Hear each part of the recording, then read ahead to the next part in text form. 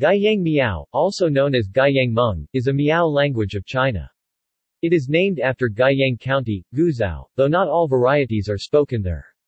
The endonym is Hmong, a name it shares with the Hmong language. Classification Guiyang was given as a subgroup of Western Hmongic in Wang 1985. Matisoff 2001 separated the three varieties as distinct Miao languages, not forming a group. Wang 1994 adds another two minor, previously unclassified varieties. Northern Southern Southwestern Northwestern Changxi Shi Mid-Southern Ziyan Ziyun Mo may also be a variety of Guiyang Miao.